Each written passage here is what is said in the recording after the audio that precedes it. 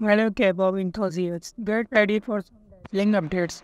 The spotlight on IVE's Jang Williams and Hudgens are falling head over heels for the beauty at the Amuse pop-up event in Japan. Recently, Volume was spotted leaving for Japan and attend the Amuse pop-up store event. And let me tell you, excitement was wild.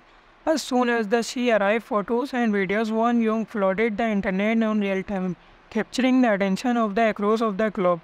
Ken is an ultimately crown of the trooping actors. And looking at the image, it's easy to see why. Voying BTS is truly enhancing. What do you think about Voying Pink Princess Globe? As you can create it as the K-pop legends, share your thoughts in the comments below and don't forget to subscribe for more updates.